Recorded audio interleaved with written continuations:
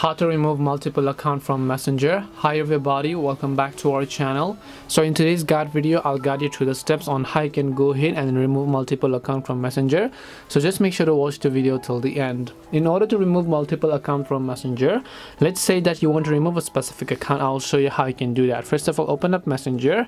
Then you can see one of my account is logged in. But if i tap the three lines icon here and then I just tap on my name I'll be able to see other accounts that are logged in. Now do not count this for because these are just the pages which has been accessed by this account. So as long as this account is signed in these four pages are going to be there.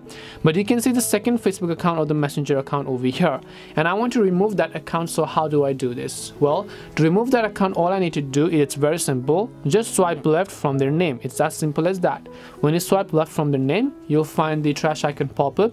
And then you can just tap the trash icon pop up over here. And then once you tap the trash trash icon they're going to be successfully removed from your messenger account. But make sure that they're also not in your facebook account as well.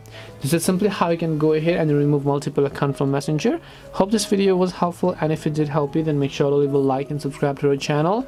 If you have got any more questions then feel free to leave them down. Thank you for watching till the end and see you soon in the next video